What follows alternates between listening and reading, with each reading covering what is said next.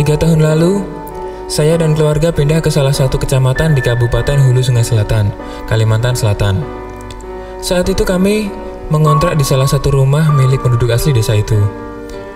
Rumah yang kami kontrak adalah rumah satuan atau bukan rumah kontrakan dempet.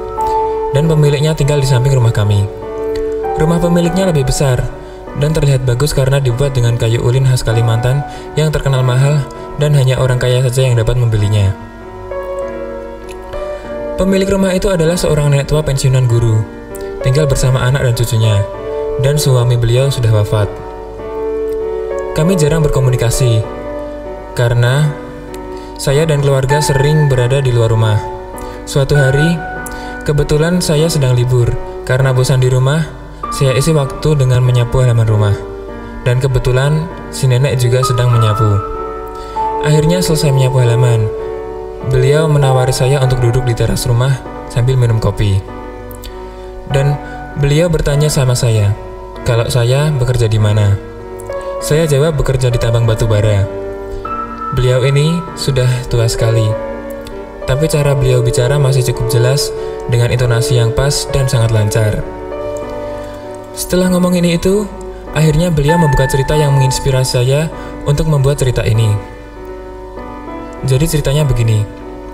Dulu, waktu beliau masih muda, beliau berkunjung ke rumah salah satu teman sekolah daerah T. Orang tua teman beliau itu adalah staf di perusahaan minyak daerah tersebut. Waktu beliau berkunjung, ternyata bertepatan dengan peristiwa penting, yaitu pengeboran pertama di salah satu titik minyak baru. Beliau yang baru saja sampai langsung diajak untuk melihat acara itu. Tapi acara itu hanya dihadiri staf perusahaan, Jadilah mereka mengintip dari lokasi tersembunyi, namun dapat melihat dengan jelas acara tersebut. Saat mengintip acara itu, beliau melihat ada lima orang anak gadis kecil, kira-kira umur 4-7 tahun yang memakai gaun pesta warna putih bersih, memasuki acara dibimbing oleh ayah temannya. Salah satu gadis kecil memakai pita bunga besar warna putih di kepala. Temannya bilang, itu adalah adiknya. Tapi, Kejadian itu tiba-tiba berubah menjadi horor ketika anak-anak kecil yang tak berdosa itu satu persatu dilempar ke lubang galian. Dan mesin alat bor pun hidup.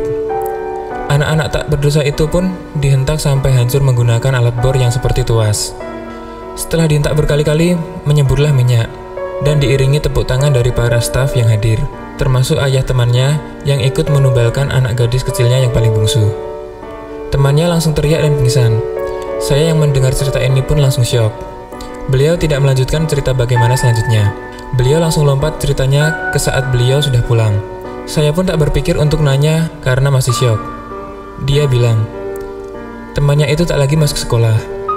Ayah temannya berhenti setelah kejadian itu dan pulang ke kampung halaman. Keluarga itu pulang dengan membawa uang 75 juta. Zaman itu, mungkin 75 juta setara dengan 1 miliar zaman sekarang. Anak sulung keluarga itu yang juga mantan teman sekolah beliau tak pernah keluar rumah. Dia menjadi gila. Ibunya juga sudah gila. Yang masih waras saat itu cuma ayahnya dan adik lelakinya.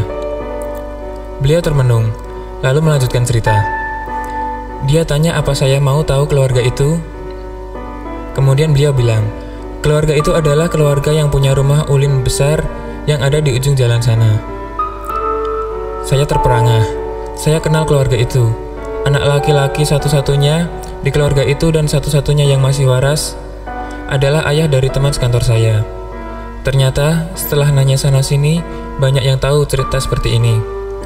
Anak dijadikan tumbal perusahaan, ayahnya dapat duit banyak. Tapi apalah arti duit yang banyak itu, kalau neraka dunia pun tak mampu membebaskan dari rasa bersalah. Ternyata banyak perusahaan minyak yang memakai tumbal seperti itu dan beberapa perusahaan itu masih berdiri kokoh sampai saat ini dan menjadi salah satu perusahaan besar di Indonesia. Tak cuma perusahaan, untuk pembuatan jalan raya maupun jembatan, di daerah sini masih banyak menggunakan tumbal anak kecil. Saya sempat jumpa saksi hidupnya, yaitu seorang ibu rumah tangga yang dulu waktu kecil sempat diculik untuk dijadikan tumbal, tapi dia berhasil melarikan diri. Sampai saat ini dia masih trauma melihat orang yang membawa sabit karena penculiknya saat itu membawa sabit untuk menggorok leher anak-anak kecil, lalu disusun di jalan yang akan dibangun. Orang-orang di sini rata-rata tahu kisah ini. Sedihnya, pemerintah tutup mata. Berita ini tak pernah ada.